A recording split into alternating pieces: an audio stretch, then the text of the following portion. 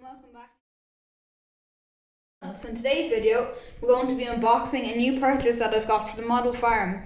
But before we look at that, what I had first bought, local Britains and Siku shop, was a Britains uh, it's an NC dump trailer and it has a New Holland tractor with it, but I just it was very plasticky and bad. So and it didn't it just it didn't really work. It wouldn't tip up or that well it did, but the back door wouldn't open things. I just didn't like it, so I sent it back.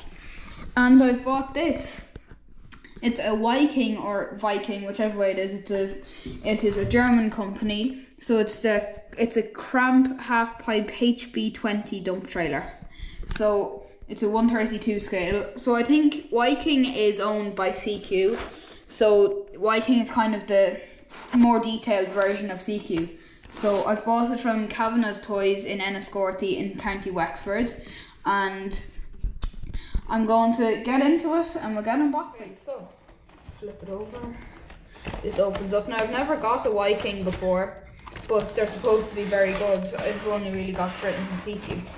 So it's packaged similar to a Siku. Let's lock this out. There, we put the box away. And here it is. This is, this is cool. So this is it, guys. A Kramp dump, Wiking dump trailer. Now, I'm not sure if you can see on the camera, but the quality of this is unreal. This is all metal. This whole thing is there now. There's a plastic door, but some like this is plastic. But then the whole chassis and um, hitch and everything is all is all metal. And then if we turn it upside down, it has this system for rough terrain suspension, and it's all metal. Like this is a very well built trailer.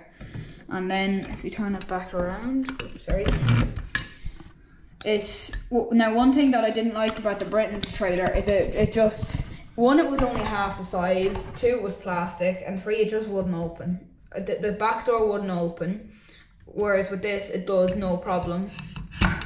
And there are tips up as well. I just think this is so cool, and like the detail on this is unreal. I'm not sure, even down to sorry the camera won't focus, but even down to the, the warning signs and everything. Like it's just such a well detailed trailer. It's just really cool. So there, it's a German brand. So it's it, it's uh, it has if I put it down here, it has its German registration on it. So next I'm going to get it onto a trial. I am just so happy with this trailer. It is an unbelievable trailer and very well made. So that's it on a Siku Massey Ferguson 8680 Dyna VT. So these are both 132 scale and it fits perfectly. It hitches on like that.